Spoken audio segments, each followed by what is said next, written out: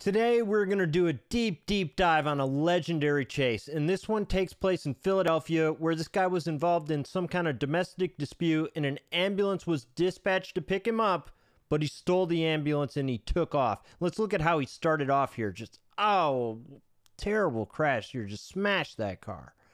And it looked like he was surrendering pretty early on in the chase. Like he pulls into his parking lot, and I honestly thought he was giving up but I guess he wasn't ready to do that. And the police came up to the vehicle thinking they could get him out, but that wasn't going to work and only made things worse, causing him to plow into this police car. See it from a couple angles there.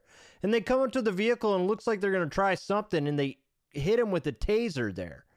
And that did not do what they thought it was going to do. And this guy is just not a quitter. And here comes the vigilante in the tow truck. He wants to end it, but I don't think he planned it out all that well. Like, look at how closely he comes to hitting the civilian car. And it only gets worse. The vigilante driving very recklessly into oncoming traffic. And I just didn't know what his plan was exactly, but the ambulance managed to pull off this really impressive pit maneuver. And apparently, the tow truck pierced the tire of the ambulance there. Look at this video from on the ground. Oh, man. Both front tires are flat at this point. And if that wasn't bad enough, here he hits a spike strip and he's dragging it behind him.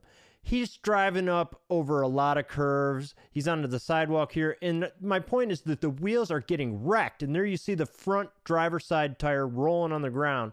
It eventually got to the point where the rim was causing sparks to fly. And the ambulance was on its last legs. He literally drove until the ambulance fell apart. And the cops were right there to rip him out of the ambulance, but he was ready to put up a fight. Of course, he got arrested, and that was the end of this unbelievable pursuit.